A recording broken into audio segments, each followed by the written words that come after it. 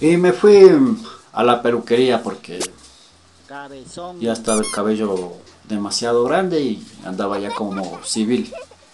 Y por ahí los jefes ya me estaban llamando la atención. Entonces llegué a la peluquería. A las tijeras locas. señor peluquero me atendió. Me dice, sí, pase, dice, pase, pase. Qué hombrecito. Siéntese. Digo, gracias. Dice, ¿qué corte de cabello quiere? El de novita. Digo, dame estilo militar. Bien rebajadito, digo, los lados y la parte de atrás. Ah, dice, no hay problema. Aquí le costamos del guango. Y cuando empieza a hacer su trabajo,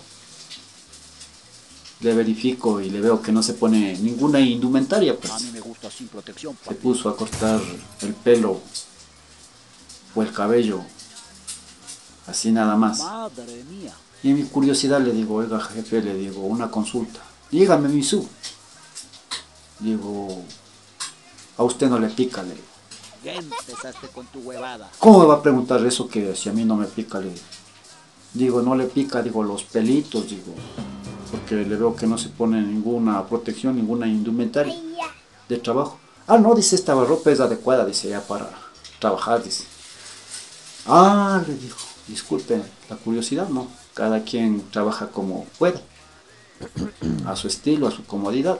¿Qué estás de sapo? Yo soy el maestro aquí. Sí, dice jefe. ¿Por qué me haces esa pregunta? Digo, porque a mí sí me pica, le digo. ¡Ay, hijo de puta! Dice. ¿Qué le pasa? Dice. Sí me pica, digo, la camisa, le digo. La camiseta. Por eso vine poniéndome yo una viejita.